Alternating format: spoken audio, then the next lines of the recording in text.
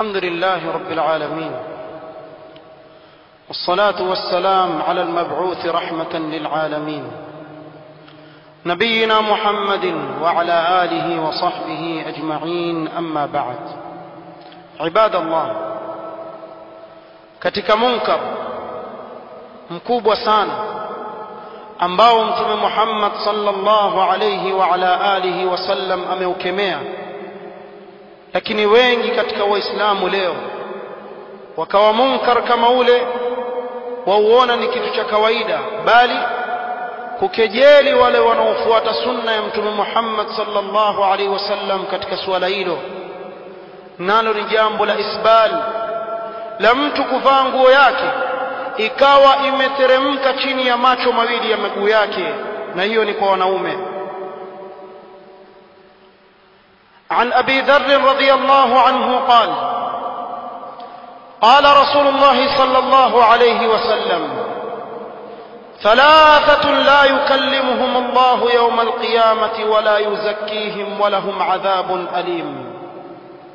ثلاثة لا يكلمهم الله يوم القيامة ولا يزكيهم أو ولا ينظر إليهم ولا يزكيهم ولهم عذاب أليم. فكرر في الثالثة ثلاثة لا يكلمهم الله يوم القيامة ولا ينظر إليهم ولا يزكيهم ولهم عذاب أليم. قال أبو ذر رضي الله عنه أرضاه خابوا وخسروا. من هم يا رسول الله؟ mtume sallallahu alaihi wasallam kwa uzito wa hiyo adhabu watakayoipata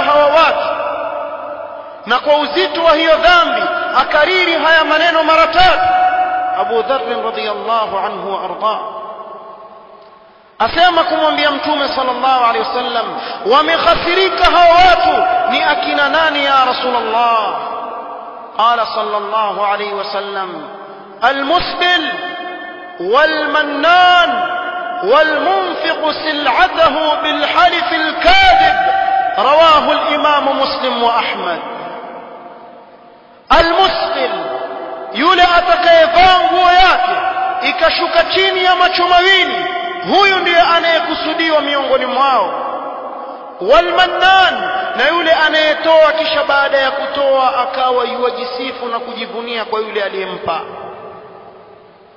walmunfiq sil'atahu bilhalif alkadhib na yule anayeuza bidhaa yake viapo vya uongo wallahi nimeinunua kwa bei fulani tena wewe nimekupunguzia sana ikawa ni muongo katika madai yake kama yale ili aweze kuuza bidhaa yake kama ile huyu ni katika wale ambao mtume sallallahu alaihi wasallam ameitaja adhabu yake kama hiyo thalathatun la yukallimuhum Allah Allah subhanahu wa ta'ala hatazungumza na wao siku ya kiyama wala yuzakkihim wala hawatakasi na kuwasafisha madhambi yao ولا ينظر إليهم ولا هو تزام هذا وتزام ولهم عذاب أليم.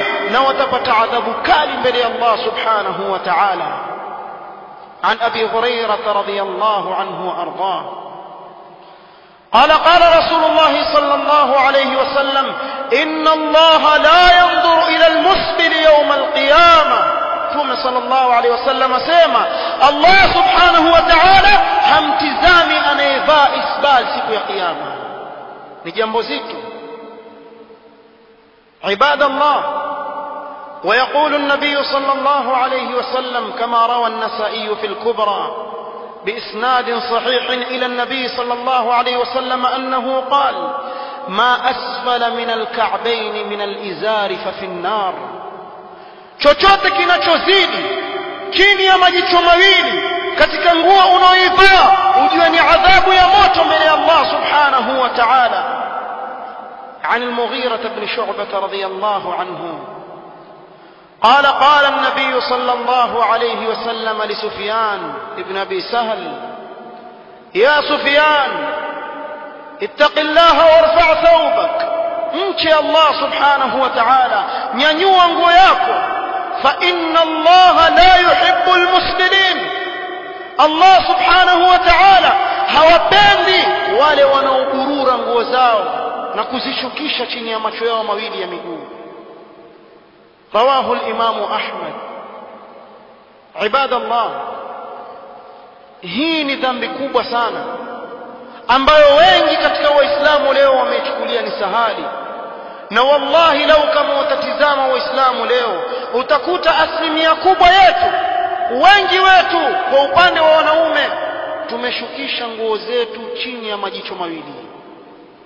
Na wakati wanapopewa nasaha ikiwa ataikubali nasaha na kunyamaza falhamdulillah lakini wapo ambao hufanya kejeli na istihza na sunna hii ya mtume Muhammad sallallahu alaihi wasallam wakawadharau wale wanaonyanyua nguo zao قيمت محمد صلى الله عليه وسلم.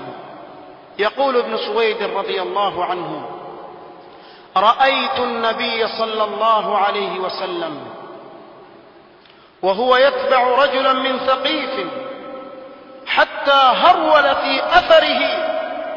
نلمونا متوم صلى الله عليه وسلم أكن فواك ونموجة كتكوات وثقيف. مبكى تكمية نقول هراك نمياته فأخذ ثوبه فقال أكشيك نغو ياكي نقوم اتق الله ارفع ثوبك انشي الله سبحانه وتعالى ويوي ينيو نغو فرفع الرجل ثوبه إلى ركبتيه فقال يلبانا كان ينيو نغو ياكي مبكا كني مغوتي أكمن بيا صلى الله عليه وسلم إني رجل أحنف mimi ni mtu nina matege maguu yangu haya yatisha watu wakiyatizama watanicheka ya rasulullah faqala an-nabiy sallallahu alayhi wasallam kullu khalqi llahi azza wa jalla hasanun kila alichokiumba Allah subhanahu wa ta'ala ni kizuri wala hakuna ubaya katika kile alichokiumba Allah subhanahu wa ta'ala falam yura ar-rajul إلا وإزاره على أنصاف على أنصاف ساقيه رضي الله عنه وأرضاه حتى مات رواه الإمام أحمد ويبان بعد يكسكي من نهاية يمتم صلى الله عليه وسلم ويصحابة سيما hakuonekana كان nguo yake alikuwa ameinyanyua mpaka nusu ya muundi wake mpaka alikufariki radiallahu anhu waardaha je yeah. Sisi tutakuwa kama huyu sahaba wa mtume sallallahu alaihi wasallam alipoambiwa ittaqillaha warfa thawbak mche Allah subhanahu wa ta'ala na unyanyue nguo yako juu je tutakuwa kama yeye tuwe ni katika wale ambao tutanyanyua nguo zetu mpaka yatakapotufikia mauti ama tutafanya istihzaa na sunna ya mtume sallallahu alaihi wasallam thumma liyattaqillaha qaum wamche Allah subhanahu wa ta'ala watu ambao wajinasibisha na dawa. Kisha wao ndio wa kwanza wakawa wa isbal awamu wakawa watizama wakasema ikiwa waliosoma wafanye hivi na sisi tufanye nini? Bali ya hatari zaidi ni mtu kutafuta zallati ulama katika masala kama haya.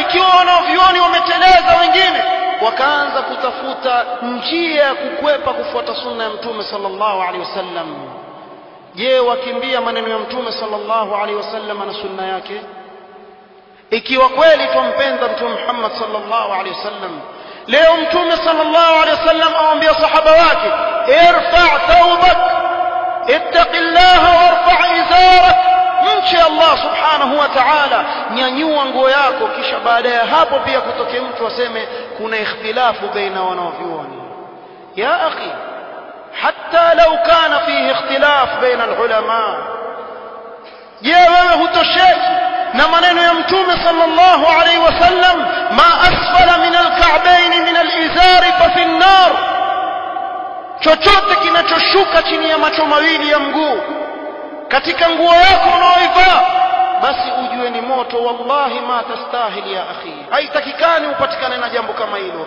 sentimita mbili au tatu zikuingize wewe ndani ya moto wa jahannam waliyadhu billah nguo ulioinunua kwa pesa zako mwenyewe leo ikuadhibu mbele ya Allah subhanahu wa ta'ala washindwa muislamu shilingi ishirini peke yake kwenda kwa fundi akushonee ile nguo yako uwe utaivaa kama alivyoamrisha mtume sallallahu alaihi wasallam thumma nadda'i mahabbata an-nabii sallallahu alaihi wasallam إن المحب لمن يحب مطيع.